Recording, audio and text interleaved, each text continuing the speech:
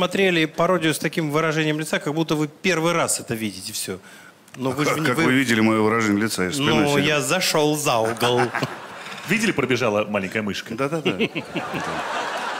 Ну давай. Не такая уж С большими глазами. Ну давай. Я уже спросил. Саш, А, нет ответа на твой вопрос. Как нет? Ну, потому что Александр снимался, а не снимал. Конечно, он не мне- видел. мне- Как-то да. вы готовились. все-таки исторический персонаж. Да. Все-таки есть люди, которые помнят. Э, Соответственно, какое-то портретное сходство. Может быть, смотрели фотографии, может быть, работали в архивах. Может, в цирк сходили. Я, честно, не Да. спал. Не спал. Не спал. Вот я в цирк в детстве не любил. Естественно. Александр, я Ведь клоун всегда находил одного мальчика.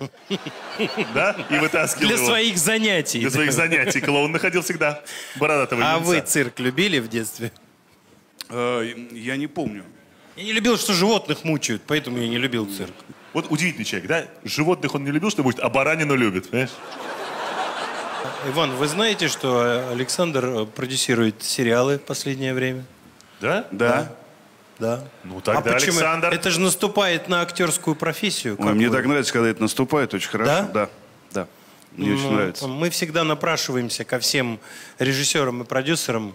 Эм, Вот. эм, А вы же отказываетесь, Александр, я к вам звонил. К вам звонил, понимаете? К вам в колокол ваш знаменитый звонят, и выходит половая девка и кричит «Барин, прибыли!» Да, вот это у вас? В синях В ожидают. синях ожидают. Расскажите, а что вы предлагали Александру? Это очень интересно. Я ему, правда, не в, э, не в кино, я ему в театре пред- предлагал В роль. театре какую? Да. Детский спектакль, наверное? Да, естественно. Дети, давайте все вместе позовем Снегурочку и спрячемся от чуда-юда. Колобок. Колобок выиграли? Да.